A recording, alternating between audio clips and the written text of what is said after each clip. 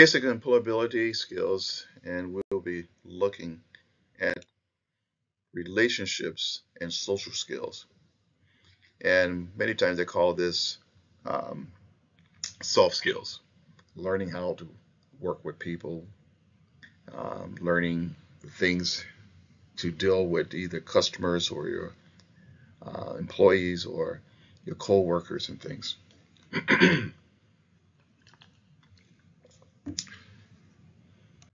so in this section, we're going to explain the importance of social skills and identify the ways of good social skills are applied to uh, the construction trade. So we're going to explain how to resolve conflicts and with co-workers and supervisors, explain how to give and receive constructive criticism, identify the uh, and describe various social issues that concerns in the workplace and describe how to work in a team environment and how to be a effective leader. Self-presentation is the way a person dresses, speak, act, and reacts with others. Work ethic is work habits that are the foundation of a person's ability to do his or her job. Professionalism is integrity and work appropriate manners. Um, confidentiality is a private or the well really is the privacy of of information of a person. In other words, keeping things confident.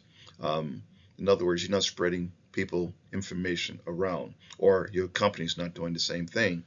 Um, initiative is the ability to work without constant supervision and solve problems independently. And initiative and uh, or having initiative is certainly something that most companies look for because uh, if they have to tell somebody everything to do, um, meaning that they have to be there. If they're not there, that is probably not going to get done. But somebody that can work independent is certainly a, a, a trait that is really looked for. Uh, tactful is being aware of the effects of your statements and actions on others. In other words, you when you communicate, you when you say being tactful, meaning that you are thinking before you open your mouth up to say the right thing so you're not hurting somebody or causing them to um, be disturbed based on what you said.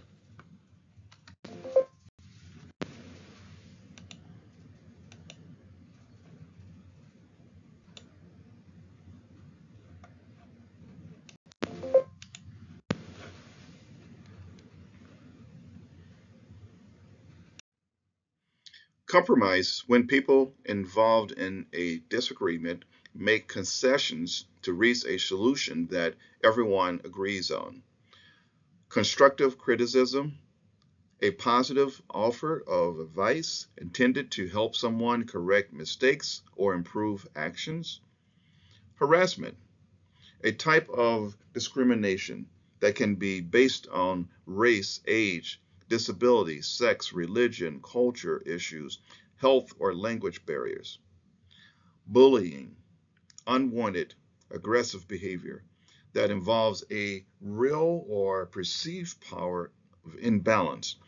Uh, this form of harassment may include offensive, uh, persistent, um, intentional, physical, threatening uh, behaviors directed toward a person.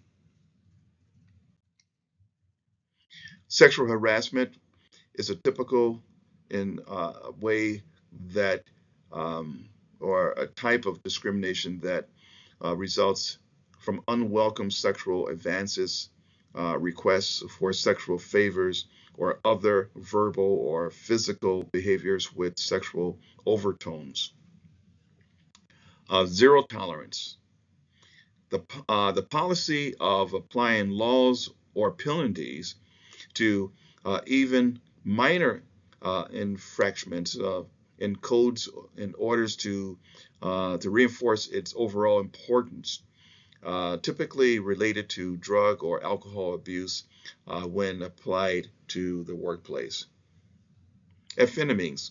It's a class of drugs that causes mental stimulations and feelings of euphoria. Methamphetamines is highly addictive crystalline type of uh, derived from um, and, uh, and effects on the, um, the central nervous system.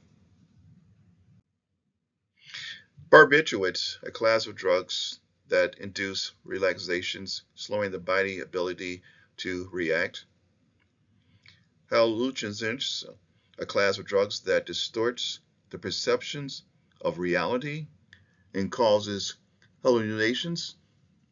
Opiates is narcotic painkiller uh, derived from the opiates poppy plants or synthetically manufactured. Heroin is the most common use of opiates.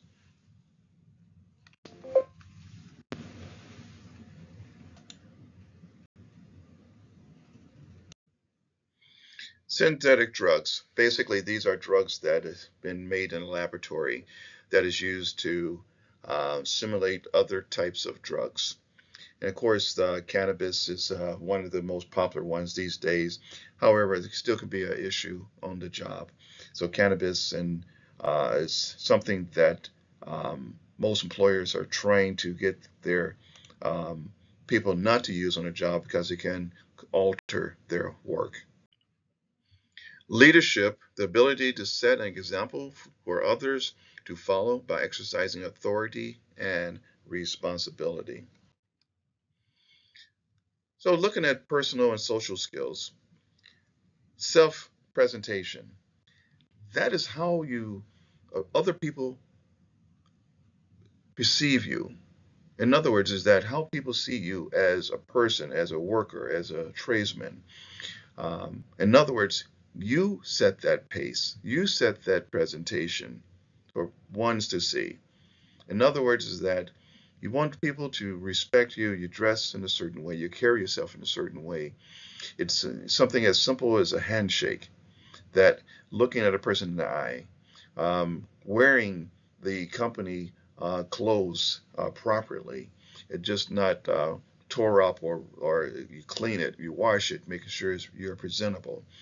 So admirable um, personal qualities of people or workers is that they're dependable. Um, they have organizational skills.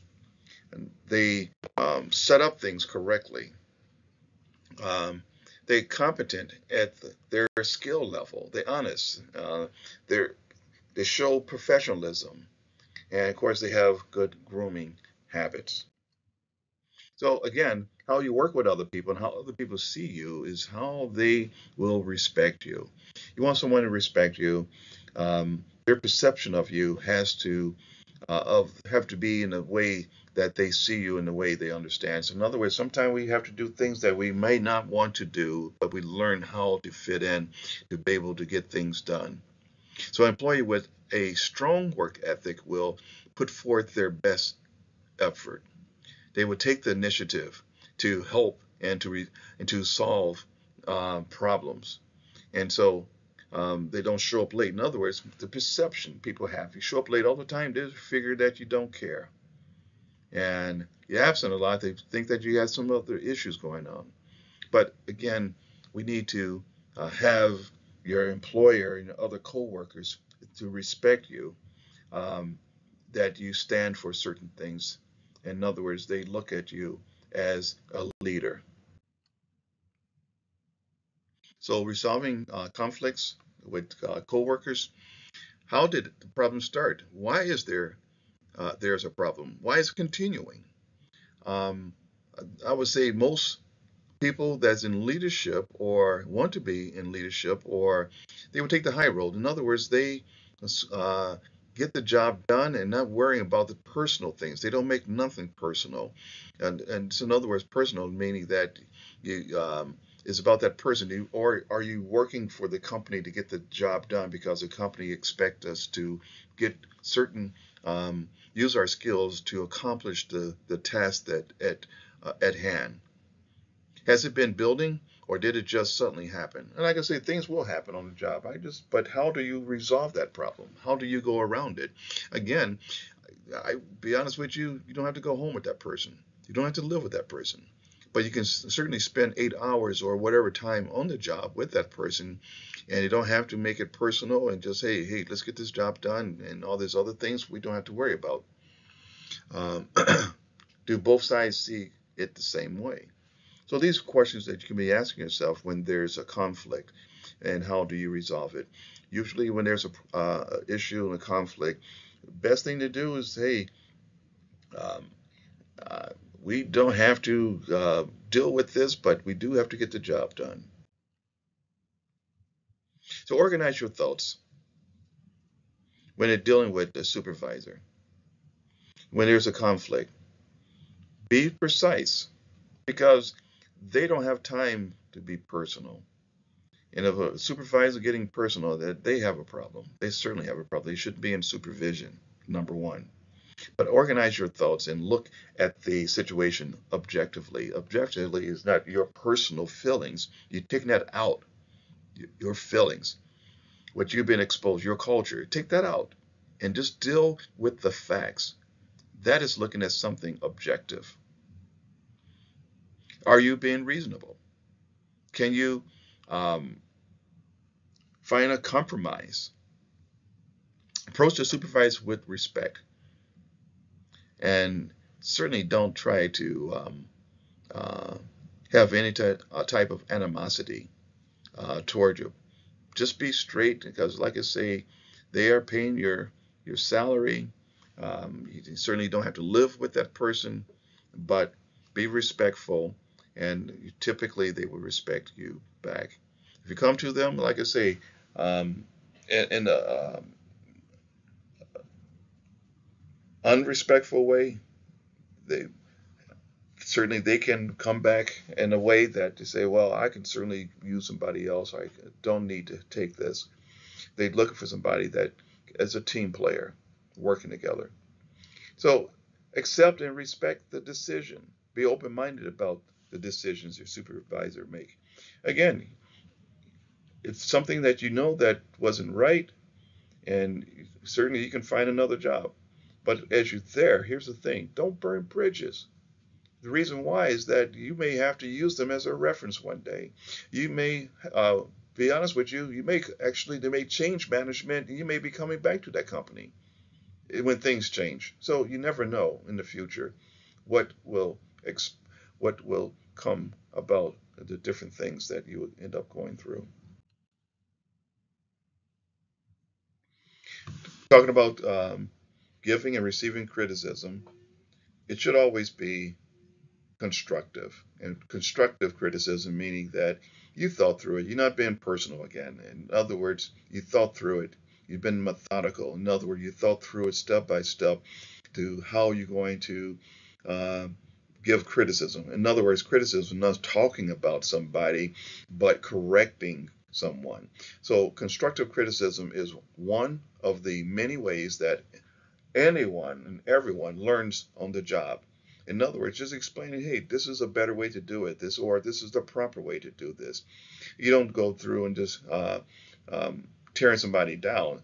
You're the uh, most stupidest person I ever saw, and you just you don't know how to do that instead of, oh, let me show you how to do this right.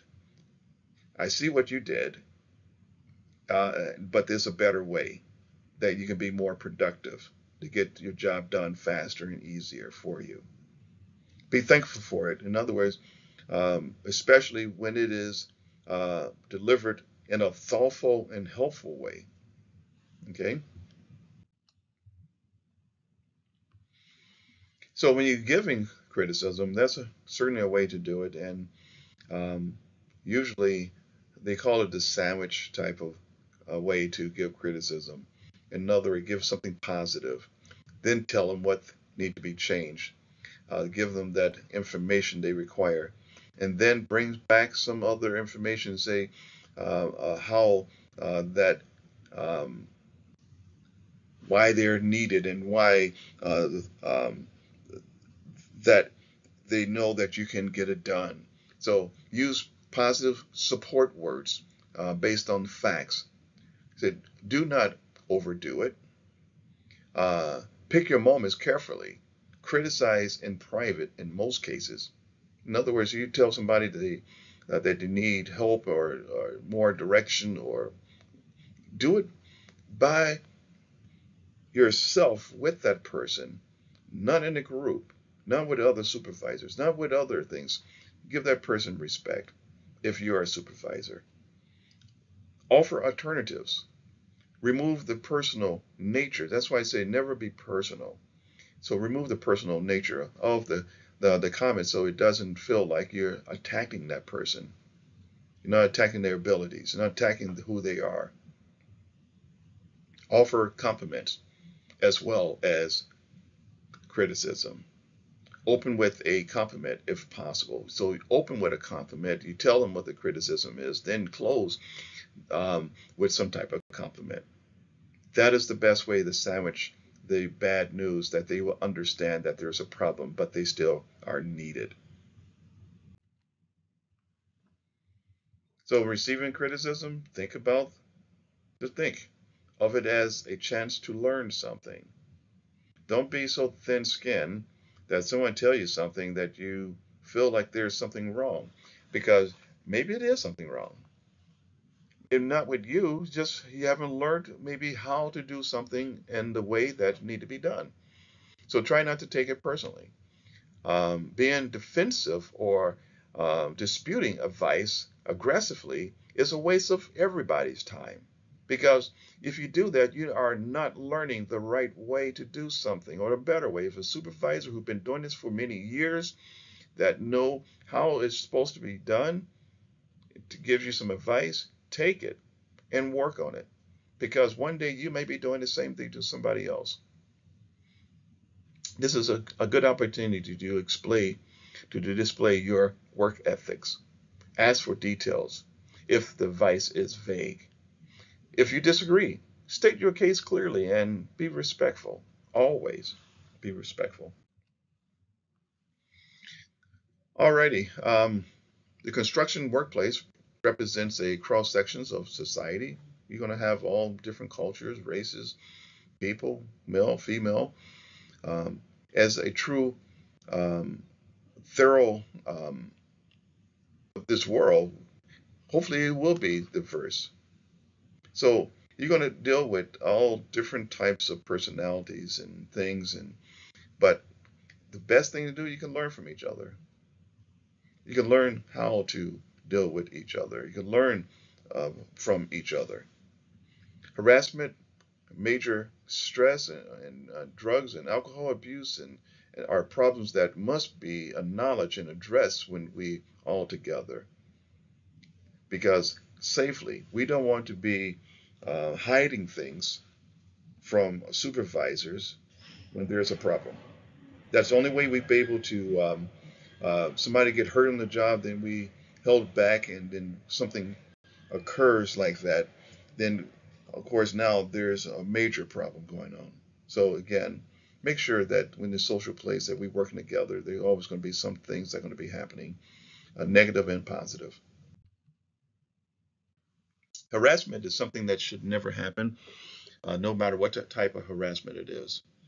Uh, defined as negative behavior that may be based on race, age, disabilities, gender, religion, etc. Um, it creates a negative working environment. Nobody wants to work in a place where they've been harassed. Matter of fact, your supervisor don't want it. Here's the reason why. Usually productivity goes down when people are being harassed. Things are not getting done the way it's supposed to get done. Sexual harassment is illegal. A person can go to jail because of it. It is typically repeated if it's not addressed. It's going to continue to happening. Bullying is more common, but um, is reported a lot less. Yes, even grown folks can be bullied. There's people who haven't grown up yet in life. Adult bullying is difficult to handle throughout uh, the simple positive uh, positive uh, interactions, but um, careful and consistent documentations of social problems is critical to success of any type of uh, organization. In other words, uh, there's a problem, uh, just bring it forward to a supervisor. It, drugs and alcohol certainly on a job is not tolerated at all. It's not tolerated. If you have a problem, usually most companies, especially large companies, they will work with you, try to get you help. And most of the time, there's help out there for it. But if somebody's drinking on a job or taking drugs on a job, it should be aware to the supervisor. These are all different types of drugs. We kind of covered that in the in the um, uh, the terms. And just go through this, and you can see some of these are. Um, well, you can tell when somebody usually. Um, hopefully, you can tell if somebody on drugs. So, what a good leader is a good leader listen. A good leader leads by example. A good leader communicates well. A good leader motivates people. A good leader looks for the best or helps the person to work at their best level. And they want to come to work because it's a good place. In other words, uh, most good leaders have um, high self confidence in themselves and they'd like to pass it on to other people. So again, uh, leadership, some people are born with good leadership skills, but leadership skills can be taught to almost anyone to be more effective in leading on a job. So again, leaders can motivate by recognizing and praising good work and, and effects that, and efforts that have been put in. Uh, matter of fact, it doesn't take a lot. Sometimes just little small things can really uh, motivate somebody to do more. Uh, creating and supporting opportunities for people to feel successful, providing opportunities for advancement, encouraging workers to feel uh, their job is important and is needed, uh, providing a chance and uh, challenging a, an environment uh, that they know that um, they, they, their mind's been used in um, not just doing dead end jobs all the time, but doing things that is challenging that to get them excited that there's something new every day. Rewarding significance, uh, the the things, the efforts that um, that someone is actually uh, achieving on a job. Alrighty, let's go through a few of these um, questions. Approaching your work with integrity in a professional manner is called blank. And that is no more than professionalism. Professionalism. Approaches to resolve conflict with co-workers and with supervisors are very similar. Is that true or false? Um, that's actually false. The way you deal with your supervisor is certainly different than your coworkers. You can talk to your coworkers any type of way, but still being respectful. But when you're dealing with a supervisor, they're controlling your livelihood. They're controlling your livelihood. And so, um, and plus they have more experience than your coworkers do.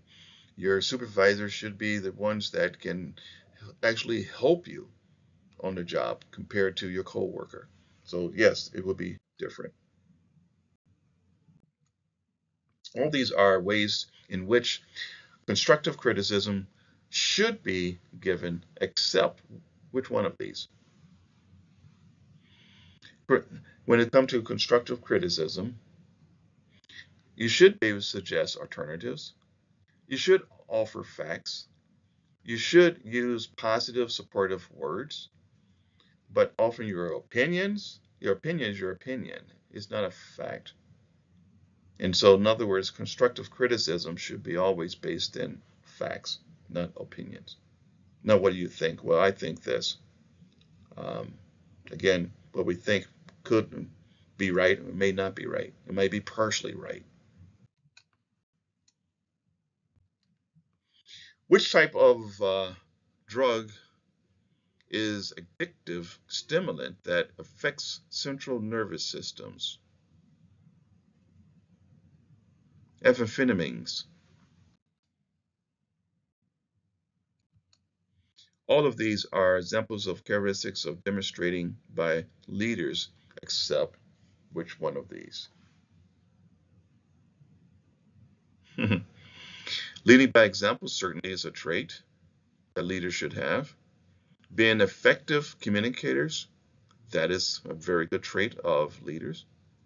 Having self-confidence is a very good trait of being a leader. Being a perfectionist, that is certainly not. Yes, a person that nitpick everything is a person that would drive their employees crazy. So, uh, again, backing down, leaders backing down, backing down from being a perfectionist because not everybody can work at the same level as the leader. Maybe the leaders happen to be the best in this area and it, it comes easy to them, not everybody. Uh, so I've learned over the years that you cannot expect everybody to work at your level. So being a perfectionist, it's not one of those characteristics that should be demonstrated by uh, leaders. In other words, looking for the best from people, yes, but being a perfectionist and nitpicking when it's not done just perfectly, um, should we work to a level, to a perfection that we're looking for perfectionists? Yeah, yeah, we should. But we are human. We do make mistakes.